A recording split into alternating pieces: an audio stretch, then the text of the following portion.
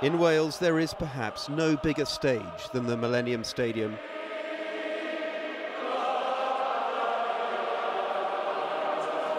And the man they nicknamed Alfie, capped a hundred times for his country, had star billing here.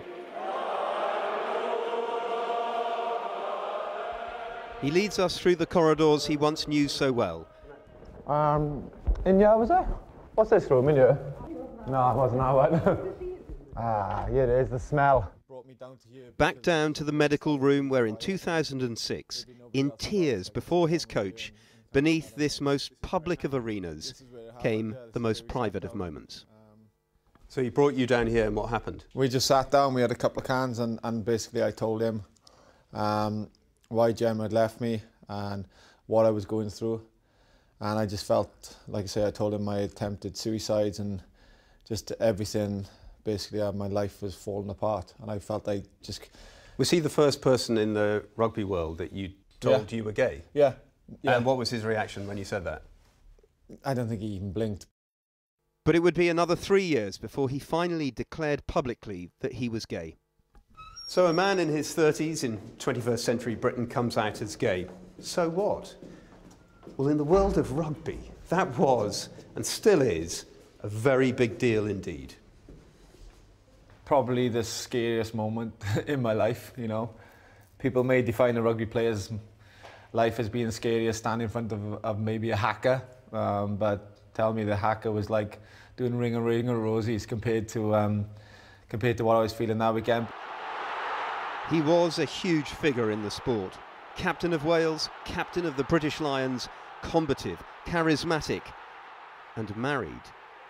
In the machismo world of rugby, Alfie played the part brilliantly.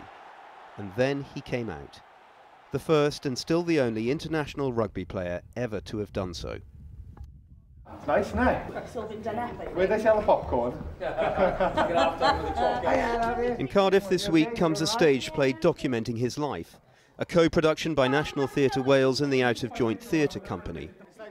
We joined him as he met the cast, posed for photos, and then quietly took a seat, his boyfriend Ian behind him, for a preview. First up, the scene where Gareth finally admits to his wife, I need to tell you I'm gay. Gay? Yes. We have sex? I know it's a shock, but there's nothing you or me or anyone else can do about it. That I can look you in the eye and tell you I have never slept with another woman, which is God's own truth, I haven't. I do love you.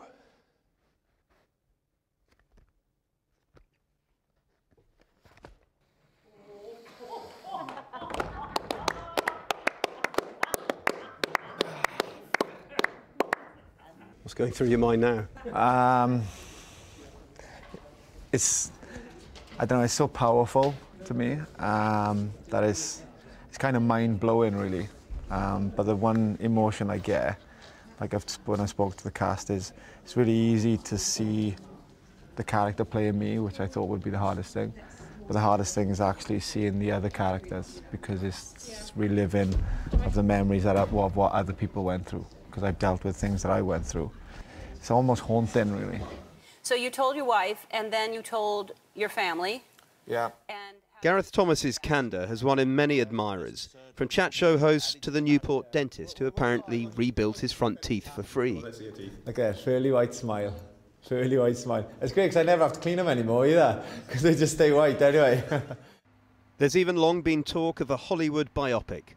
Is there a risk that this is all a bit over the top? You know, the documentaries, the books, the possibility of a film, now the play you are one man who's come out as gay, and, and in that respect, you're hardly unique. Yeah, and I, I, and there's never one minute in my entire life have I ever said I'm unique. If I keep getting letters, or if I keep getting messages from people who are still taking strength from my story, who are still, who are still finding it difficult and struggling, then do you know what? Then, then I'll keep doing what, what I do because in this world, it's still illegal in I think 78 countries to be gay. So you know what, if that's if that's still a, a fact, then you know what, maybe this play or maybe other things I will, what I do in my life will maybe change that a little way as well.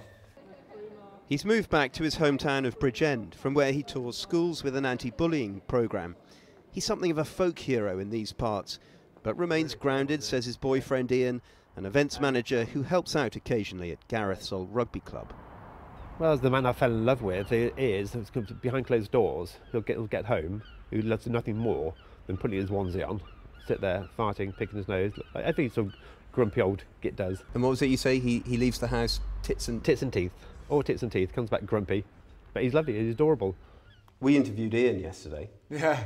But that was an experience. Shall I tell you what he said? He said you're all uh, tits and teeth when you go out, and when you're back home, you're you're in your onesie, farting and picking your nose. Yeah.